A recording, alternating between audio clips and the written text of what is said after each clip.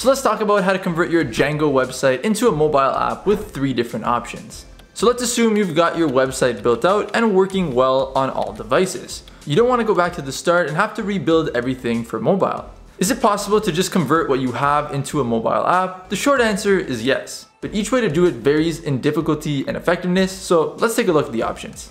Number one is convert it to a progressive web app. A PWA looks and feels like a mobile app, but pages are still loaded through a mobile browser.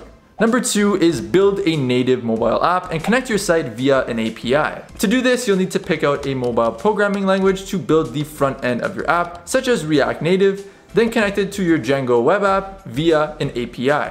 Number three is build a wrapper app with Mobiloud Canvas. Canvas converts your web app and all of its functionality into actual mobile apps for Android and iOS. We make it easy to launch your app in as little as three weeks at a fraction of the cost of traditional app development.